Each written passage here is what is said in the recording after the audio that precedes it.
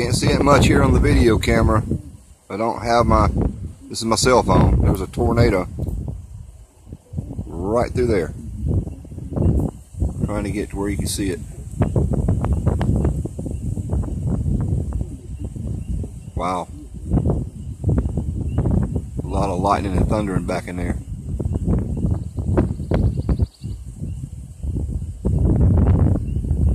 Ooh. On the way home and saw it. Ooh, lightning bolt. That's a bad little puppy there.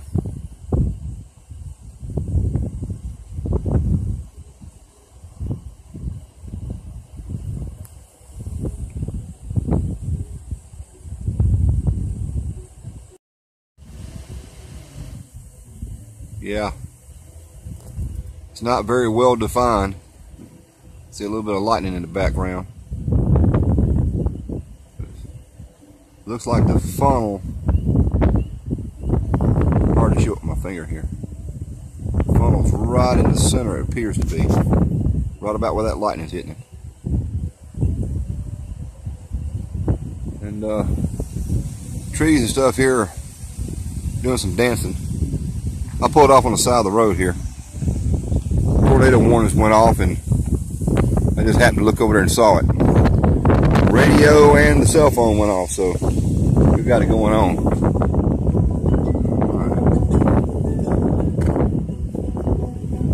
Boy, it's gonna be some bad weather tonight. Gotta get home to Wee Wee.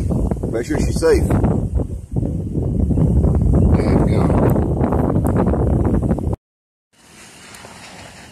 I'm at the crossroads here where I normally go to Wee Wee's. This is what they call Ellis Road. And uh, there's another um, uplift there that it's not very, very well defined. You just see light, uh, you can see the sky and stuff underneath it on this side here. But that's not actually a, that's not a tornado there. That's actually an updraft. Uh, one we just saw there definitely was. So just want to show that to you to compare the two. I got the camera hanging out the window right now. I'm trying to the tree down the way, but that's that.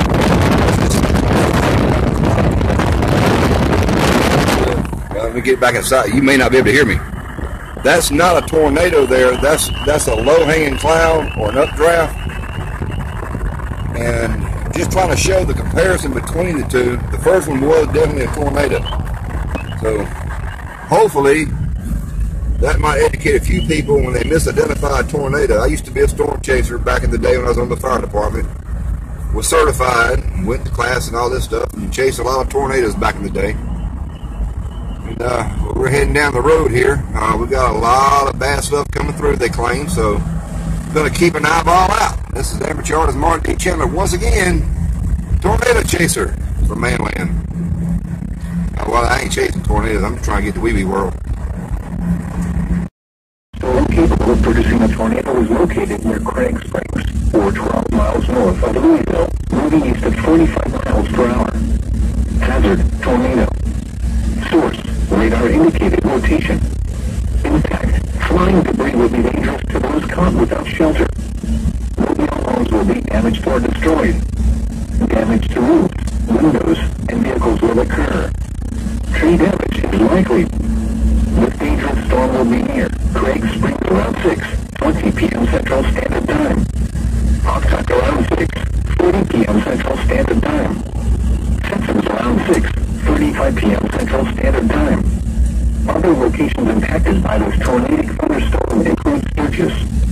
Take cover now. Move to a basement or an interior room on the lowest floor of a sturdy building. Avoid windows. If you are outdoors, in a mobile home, in a vehicle, move to the closest substantial shelter and protect yourself from flying debris.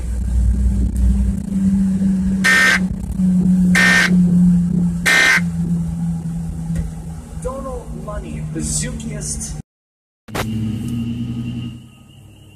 Uh, y'all can't see this because the camera won't focus, but there's a lot of emergency vehicles down here on a certain road. There's evidently some trees and stuff down. So, um, sorry it's blurry, but the camera won't focus. So low light. Yep, a lot of activity going on here at Manland. Well, Manland Channel. Heading on down the road.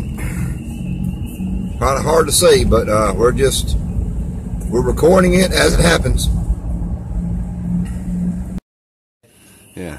Oh, uh, Bones Yard here, and uh, just got home to Wee Wee World. She's safe, and Bones showed up because he got scared. And uh, your wife, you, you, yeah, she got rid of Carrie. Okay.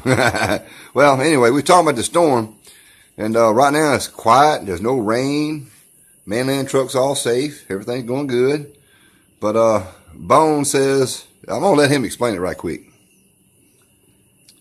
we had tornado warning, and it was just north of our house. Approximately, the way the crow flies, probably seven miles, maybe something like that. Something like that, yeah. And then we saw it on radar. On ra- I mean, it's radar indicated, but you know, and it was uh, it wasn't confirmed, but it was radar. So we was out there shooting the guns and everything, the pow pow pow, and finally it come it started coming through. And I, I seen a dark cloud, and I went out there. Look, man, them clouds kind of looked funny by the way they looked. So that was like five o'clock, and then like five thirty, we left to come to Manland because I was watching on radar. It, it went from Papa Creek to uh, French Camp, so we had to go through there to get here. I should be saying that, But anyway, that's all right. but okay, but And that's about. we mhm. felt like it was safe. And that's like 535 when we left the house. So it would have been northeast of us. So Manland said he come home and he saw it. I'm like, you can't see it. So he was driving down 43, going around the curve to the left, to the right. So he, depending on what curve he goes around, you know, what's to his right, he thought was Ethel, but it really ain't. It's kind of north. Yep. But he actually saw the tornado and got it on film. Yep. Sure did. So there it is. Uh, it's it's weird. You know, it'd be nice if your cell phone was showing a GPS location while you're trying to film to show everybody what's going on. Uh, but uh, like I say, emergency vehicles. At what, what's the name? What's the name of that road at the crossroad of the church? Uh, 413. All right. Uh, that's when I showed y'all the the very poor footage of the emergency vehicles where trees were all down. Uh, and, and, and, and, and I think that, that personally, in my opinion, is just a coincidence from some high winds, not the actual tornado. Because the, path of it, there was no path. It was just a tree. Yeah. Because I came from my house to that point, and then up to here, there was nothing but just, you know, a lot of pine straw in the road.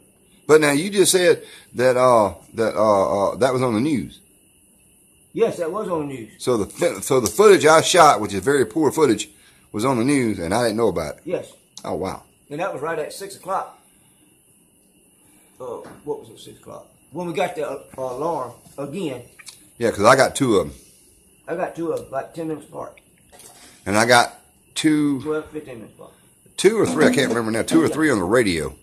I was listening to PRM, and the daggum weather alert radio was going off, and they was talking about Starkville, and I was like, wait a minute. Why y'all talking about this? We got this going on right here locally, back to a Starkville. and yeah, that was that was actually Starkville. so anyway, Amateur Smart E channel once again from Manland. We all safe, everything good, uh, but the night's not over yet.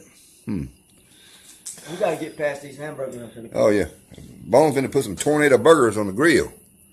The Junkyard Bushcraft Grill. That's what I'm screaming. Y'all take it easy and take them here. This is the end of the cell phone video.